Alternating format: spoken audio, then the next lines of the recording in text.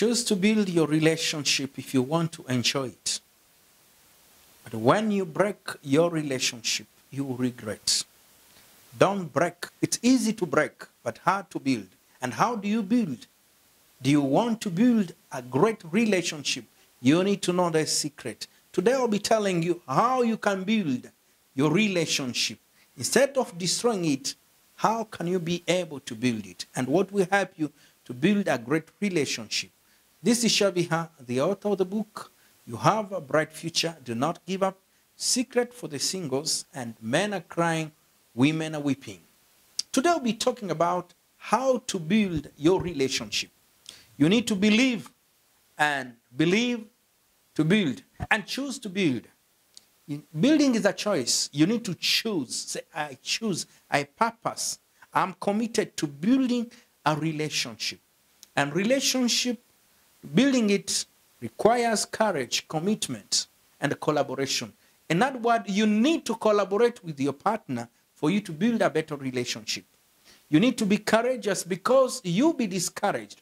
You are trying to build, but someone is pushing you. Uh, you'll come across challenges in the relationship.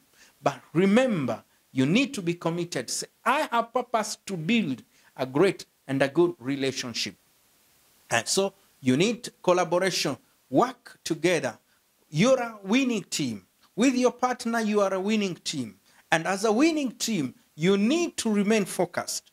And remember, if you're focused, you are going to do great things. Choose to build. When you build, you'll be happy. When you build, you inspire people. When you build, you also sleep well, work well, and serve well. You are there in a relationship to build. You are not there to destroy it. And you need to be careful. It's easy to destroy. By your word, you can destroy. By your action, you can destroy. By your attitude, you can destroy. Don't destroy your precious relationship. Whether it's a relationship, it's a dating relationship, whether it's marriage, you need to learn to build it. And how do you build a great and a peaceful relationship? You need to know this. And I'll say, you're there. One that will help you to build a great relationship is humility. Do you love your relationship?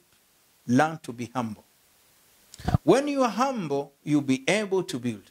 A humble person is ready to ask for advice. Remember, there are many things that you don't know, and there are many things that you know. But learn to ask for advice. Learn if you want to live. Read if you want to lead. It's key. Read a lot about relationship, about marriage. Most of the time we feel like I don't have time to read. Ask for advice. There are people who know it. Ask. Be willing to learn. Be willing to consult. A humble person will ask for advice. A humble person will admit the mistake. You need to be able to recognize and admit when you are wrong. There are people who believe they don't make mistakes. And that people have been destroying their relationship because they don't want to admit their mistake. Yes, admit it. Recognize. Remember, you are not perfect. Marriage is for imperfect people, people who are not perfect that come together to build a great marriage. And how do you? You need to be able to admit your weakness, recognize your weaknesses. Yes, I'm, I have shortcoming, but I want to succeed.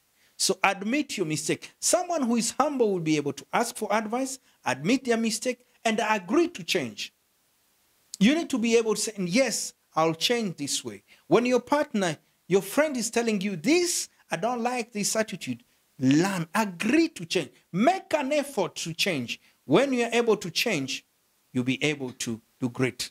A humble person appreciate other people. Proud people will not appreciate other people.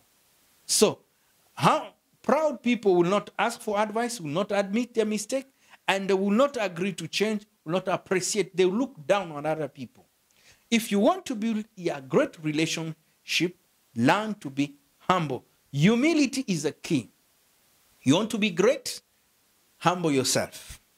But if you are proud, you can be sure that you will destroy your relationship. When you destroy it, you regret. you'll not be at peace. The second thing that will help you to build a great relationship is honesty.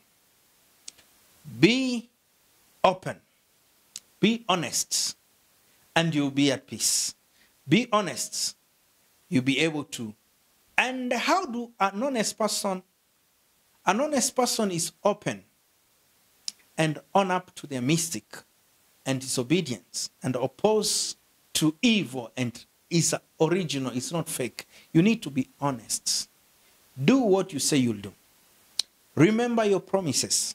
Most of the time we give promises, but are you able to keep your promises? If you really want, you love your relationship, learn to be honest. You want to build, be honest. The third thing that will help you to build your relationship is harmony. Harmony is that where there are people, things will emerge. You'll disagree. But how you, you, you solve your disagreement matters a lot. You need to learn to sit down and talk. And I told you that humble person will listen. Humble person will admit their mistake. Humble person will ask for forgiveness. Admit your mistake. Harmony is key. If you want to live together, you need to live together in harmony. You need to treasure that relationship and value the other person. Harmony is key. A person who love harmony will seek for solution. Look for a solution. Don't allow things and people to separate you. Sit together because you are a winning team. You'll be able to find a solution seek value peace. When you are at peace and uh, when you are at peace and uh, the relation is peaceful, you'll be able to prosper. When you are not at peace, you'll also be at pain. When you are at peace, you'll be able to progress. When you're at peace, you'll be able to be uh, produce. So make sure harmony is the key. Sit together, talk, and find a solution. Let me tell you that you can find a solution to what is stressing you. And one thing, you need to come down, be humble to be able to get a solution. The first thing that will help you to build, if you don't want to break your relationship, learn to honor, respect, relate well, and recognize uh, the other person. You need to learn to respect. Respect this other person. Everyone look, is looking for love. Respect this great person. When you respect this great person, you'll be able to relate well with them and you'll be able to recognize their effort. And everyone is looking for love in a relationship. Learn to lift, not to look down on the other person. Learn to encourage the other person. It's honor the other person. Respect is key. Relate well. Recognize the other person when you honor the other person is key. The fifth thing that will help you to build a great relationship and build your relationship and save your relationship is hospitality. Love to serve. Be a servant leader. That's something that was told. And if you want to be great, and the word of Jesus, one who want to be great need to be a servant. Be ready to serve hospitality. A hospital person, a hospitable person, I mean, is able to serve, to see the other person as great, very important. How do you look at your partner? Do you look at them they matter, or you look you think they don't matter? No. A relationship is not for one person. A relationship for two people. So you need to see that the other person matters a lot and speak well and show the way. And it's very key. You need to serve and serve without complaint and value the other person. That's where you'll be able to build a happy relationship. Number five, if you want to build a happy relationship, one, you need also happiness. You need to be happy. When you're happy, you'll be able to share a happiness And one, how to be happy, you need to be contented with who you are and what you have. You may not have the best, but from what you have, you can get the best. So you need to be contented. Thank God. Most of the time, you need to be able to list the quality of your partner. What do they have? The quality. And to be, be thankful. They are not perfect, but try to thank them for who they are, for what they have. Also, the other thing that will help you uh, when you're happy, you be cheerful, you be charming, you be connected, and you be you'll stop complaining when you are happy. And that's where you'll be able to build a great relationship. You are there to build, you are not there to destroy. And check your words, check your behavior. And the seventh thing that will help you to build a great relationship is being helpful. Be helpful. How can you be helpful? Cooperate. Be caring. Control your tongue. With your words, build with your, be helpful in your word. So those are seven things that can help you to build a great relationship. Number one is humility. If you don't have humility, you'll destroy, you'll break, you'll regret.